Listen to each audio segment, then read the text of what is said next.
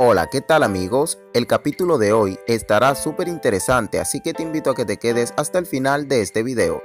Antes de empezar, quiero recordarte suscribirte a nuestro canal y activar la campanita de notificaciones. Sin más preámbulos, empecemos. Ha llegado el día de la boda de Ivy y Arnaldo. Al malvado Arnaldo se le va a cumplir su deseo de casarse con Ivy.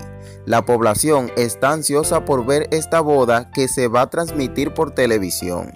Julio trae al ejército para que cuide el lugar y le asegura a Arnaldo que Ivy llegará.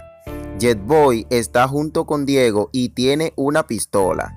Está decidido a detener la boda, pero escuchan una llamada de un hombre extraño. Se trata de un francotirador que había contratado a Emilia para que le quite la vida a Ivy, pero Jetboy y Diego lo detienen para evitar que eso suceda. Vemos que Emilia lo llama nuevamente y quien le responde es Diego. En ese momento Emilia se da cuenta de que su plan ha fallado. Llega el momento de la entrada de Ivy y desata mucho misterio ya que Ivy llega vestida de negro. Todos están impresionados con esta llegada. Por otro lado, Jetboy detiene a otro francotirador que también quería quitarle la vida a Ivy. Diego y Jetboy hacen todo para mantener a salvo a Ivy.